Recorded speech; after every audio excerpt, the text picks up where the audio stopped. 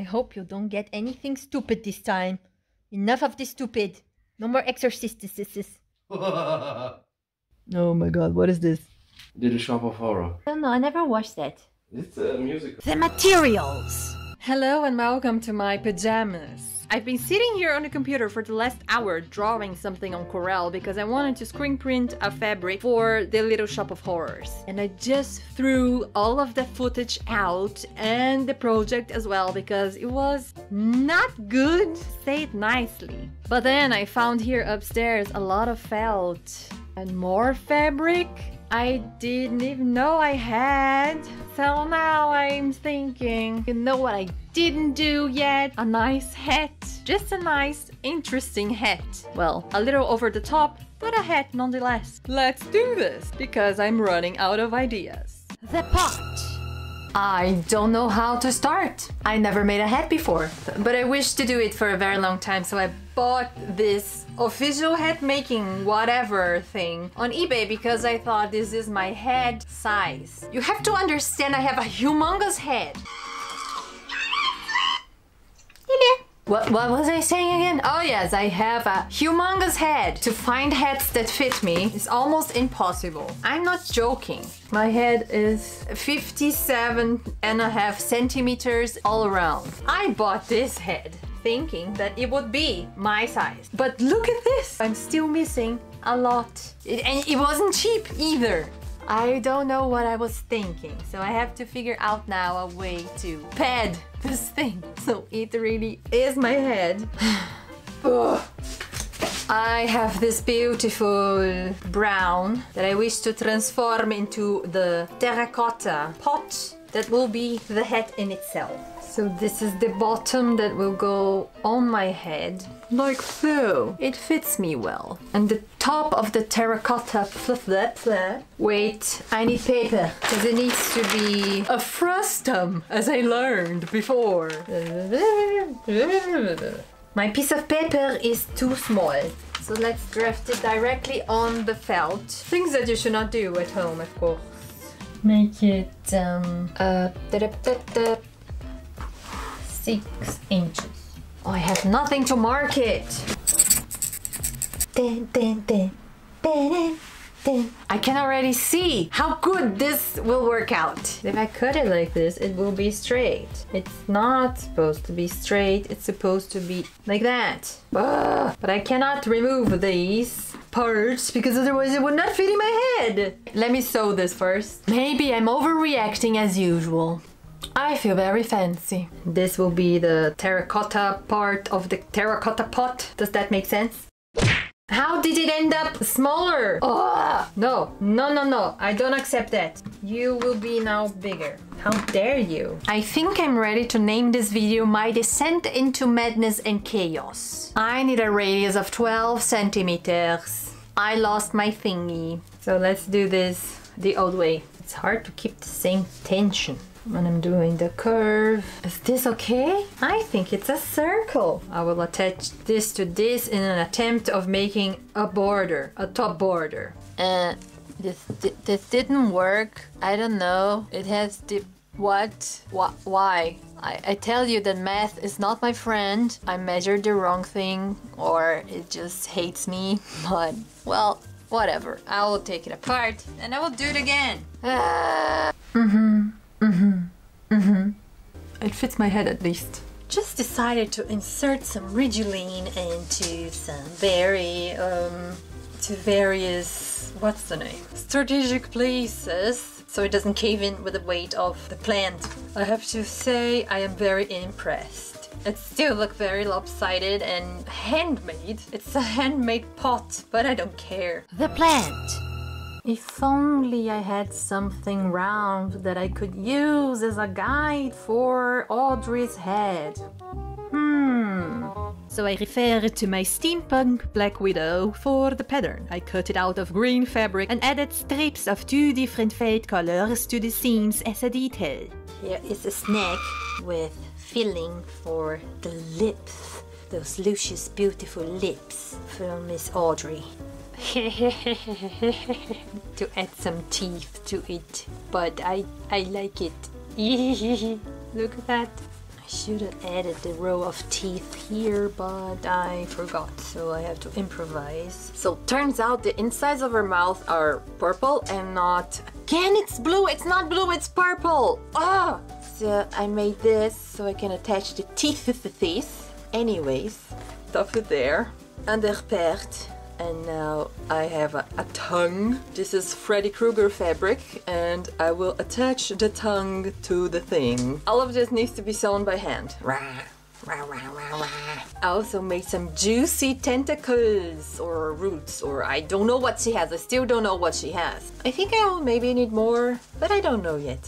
Leaves! This is one of the rarest moments in this house where Chili and Muesli are laying together without tearing each other apart. Is it so cold that you can't stand each other for a change? Yes. Yes. They were very connected when they were babies, but then they grew apart and they don't lay together anymore. They do play a lot though.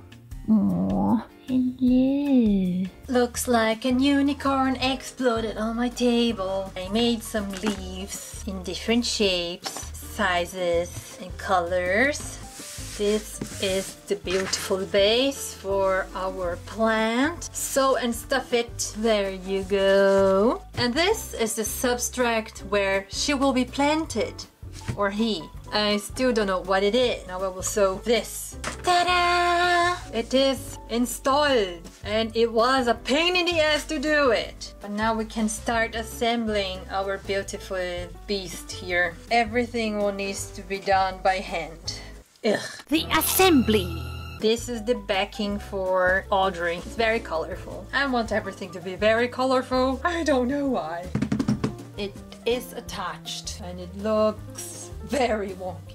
Now this will be here. I think one professional hat maker should react to this. Professional hat maker reacts to the assassination of his craft. Supposed to stay here where you are. Yay. Yay.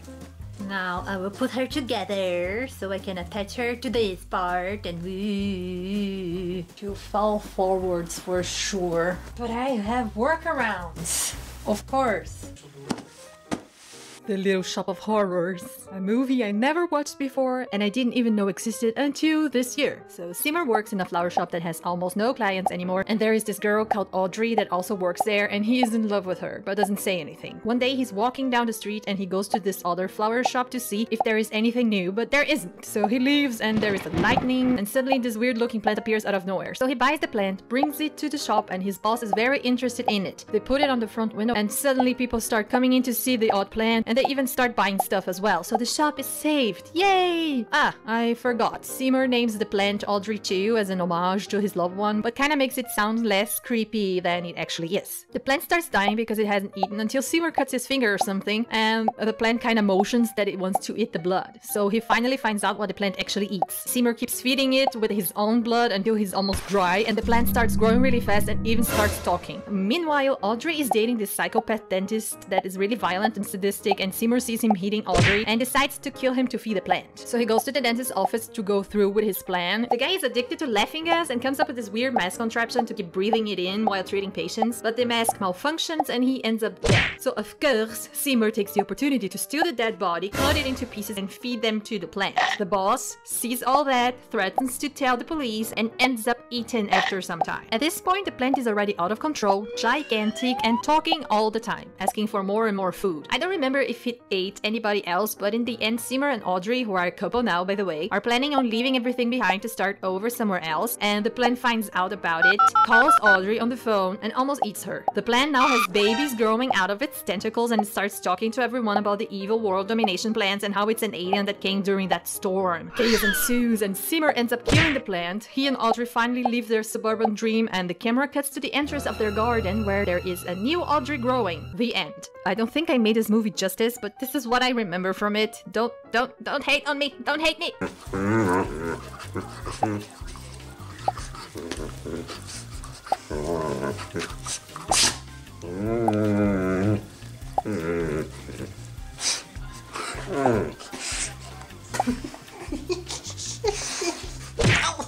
In the gut.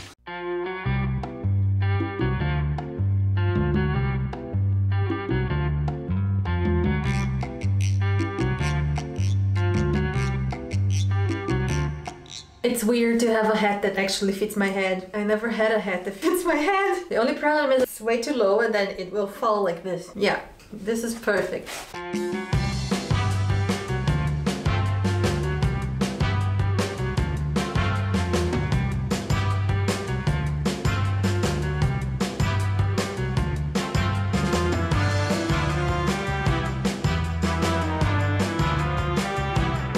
Professional equipment. I don't know what what's happening. No, I'm full with hair now. Go, puppy. Cannot go on like this. Feed me! Feed me, Nanny! Feed me! It it is dead. Welcome to this talk show. I hit jackpot. 101 plant puns for us crazy plant ladies. How much room should you give fungi to grow? I don't know. As mushroom as possible. How do you fix a broken tomato? I don't know. With tomato paste. What did the grape say when it was crushed? I don't know. Nothing. But it let out a little wine. Ah! Why do trees have so many friends? I don't know. They branch out. Uh-huh.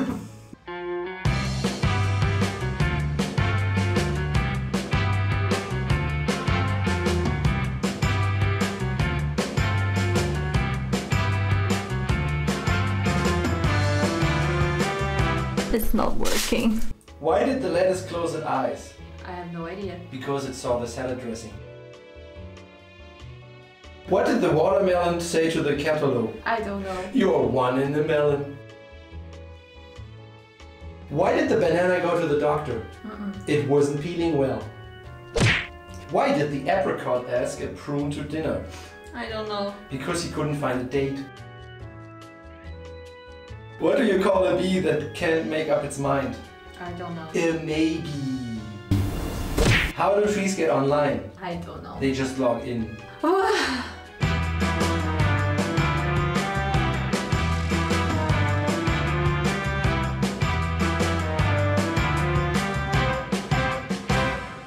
Why are frogs so happy? I don't know. They eat whatever bugs them. When does a farmer dance? When he drops the beat. So tell me what happened today. Nani, I've soiled myself. No! Okay, bloomer. Why? I'm sexy and I grow it. I. Mountains aren't just funny, they're hilarious. My leaf blower doesn't work, it just sucks.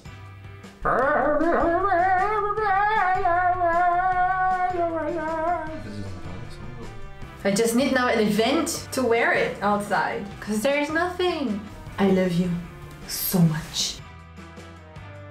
Feed me, feed me, give me them foods, yum yum yum. Feed me, feed me, I'm hungry, I'm hungry. Feed me, Nope. Nani. Nope. Feed me, I am so hungry, hungry. I don't care. Feed me, feed me. All my plants would complain like this, I will throw them out. All out. I'm hungry.